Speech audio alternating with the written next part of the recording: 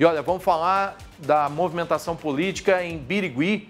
Os vereadores da cidade realizam hoje, em sessão extraordinária, a votação do relatório de cassação do mandato do prefeito Leandro Mafez. O Rafael Rodrigues está ao vivo aqui comigo na nossa janela da notícia, está lá na Câmara de Vereadores da cidade e conta tudo para gente sobre essa movimentação. Boa tarde, Rafa. Boa tarde, Sandro. Boa tarde para todo mundo que está acompanhando o primeiro Impacto Interior. Nós estamos aqui na Câmara de Vereadores de Birigui aguardando a sessão que começa uma hora da tarde. Os vereadores vão votar aí o relatório de uma comissão processante, Sandro, que investiga irregularidades na compra de óleos lubrificantes pela Secretaria Municipal de Serviços Públicos.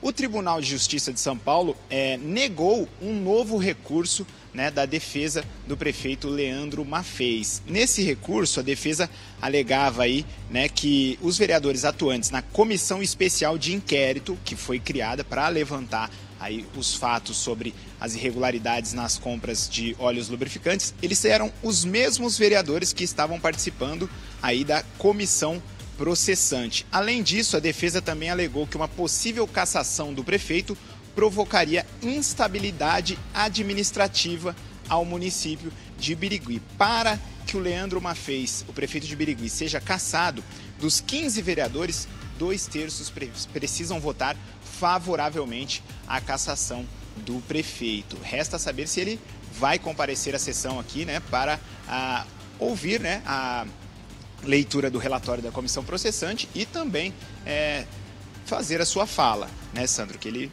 pode pedir o direito de fala e também explicar o que aconteceu aí nessa compra dos lubrificantes. Ele conseguiu é, uma adia, um adiamento né, da primeira sessão onde seria é, feita a leitura dessa comissão processante. Foi no dia 4 de setembro do ano passado, mas dessa vez a, a Justiça decretou aí que a comissão processante vai ser feita, os, os, vereadores vão ler o relatório e ele vai ser votado. Não teve adiamento dessa vez. Lembrando também que, mesmo que a votação seja favorável à cassação, o Leandro Mafez também pode recorrer em instâncias superiores. Sandro. A gente continua acompanhando toda essa movimentação aí nessa importante cidade aqui da nossa região. Aliás, presidente Prudente também está num, num, processo é, muito parecido aí, né, com a Câmara avaliando aí a possível cassação do, do prefeito de lá também. A gente continua acompanhando